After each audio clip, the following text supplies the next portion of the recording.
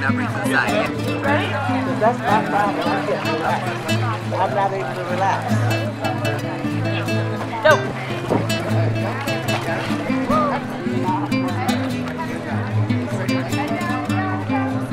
Big breath back Good job.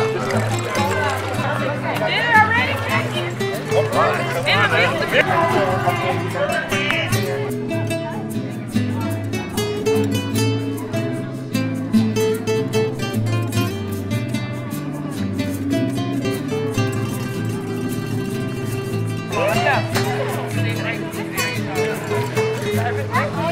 So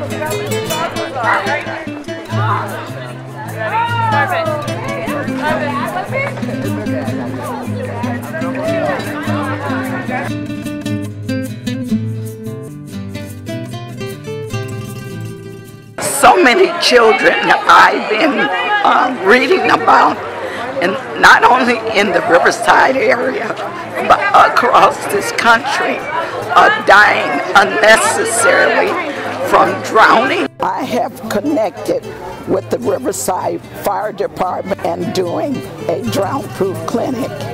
I call coaches in from the uh, Yucaipa area to assist me in the Riverside area with this drown proof. It's about coming together as one, helping one another. That's why I started this drown proof clinic.